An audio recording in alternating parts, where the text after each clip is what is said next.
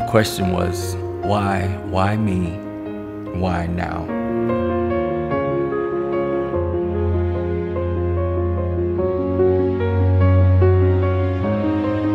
It just feels really unfair. Just really, really unfair.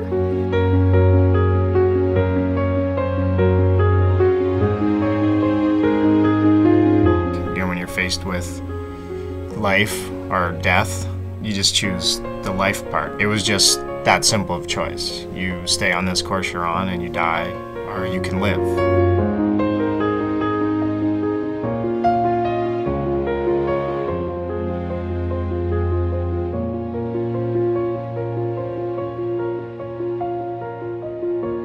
We've all been through things that have made us the people that we are today.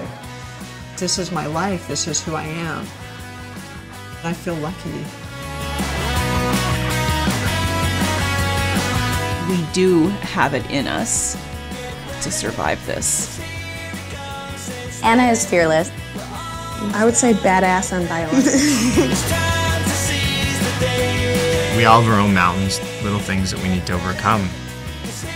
Find that one thing that you can hang on to. That one thing that you can focus on and get through those dark days.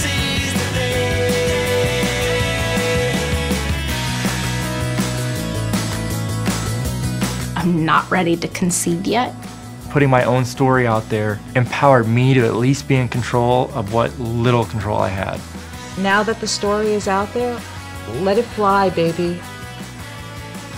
I just have this thing in me that makes me want to fight back.